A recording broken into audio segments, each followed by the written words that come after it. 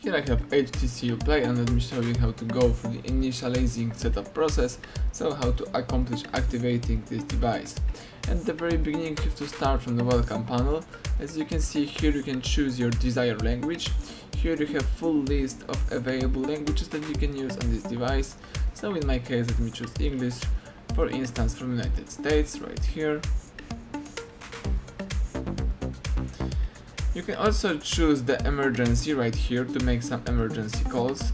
If not, let's go back right here. Here you have some tools. You can choose, for example, a diagnostic tool, accessibility settings, and some other stuff. Let's go back. If you are ready, let's choose start right here.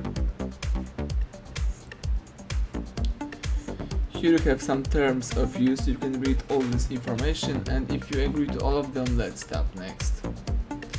As you can see, you can set up an internet access, you can use a mobile data, but you can also use a Wi-Fi, so let me do it. Let's choose my Wi-Fi, choose connect, and let's tap next.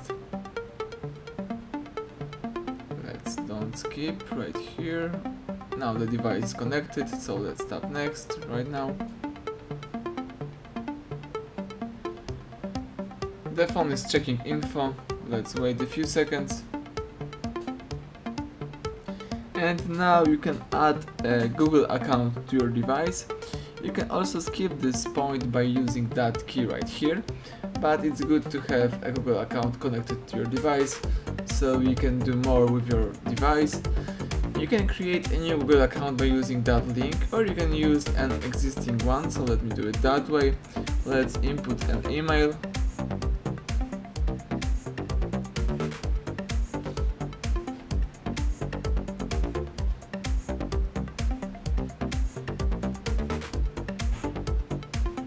Let's tap next. Now you have to enter your enter your password, so let me do it. Let's wait a couple of seconds.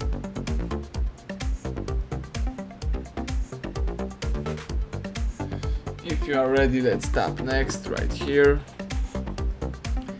And if everything is alright, you have to accept terms of services and privacy policy, so let me do it by using that key right here in that corner the device is checking info one more time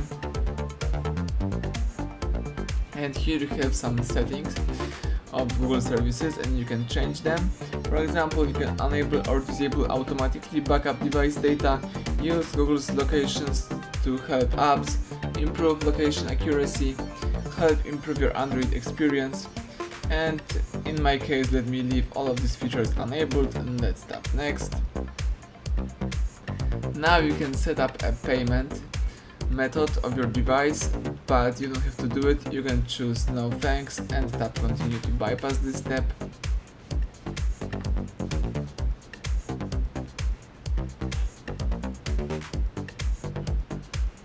Here you have some settings about time and date. Let's choose next if everything is correct.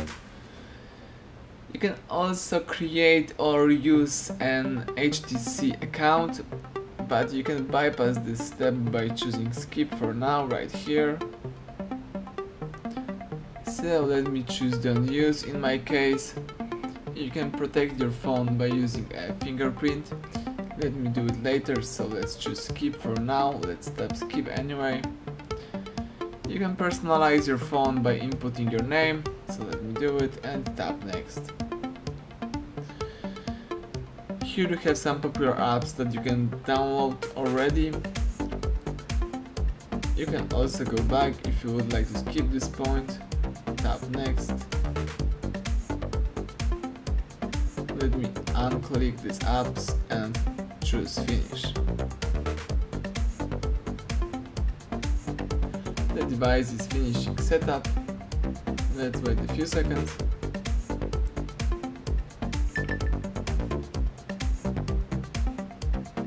Excellent, as you can see now you can use your device.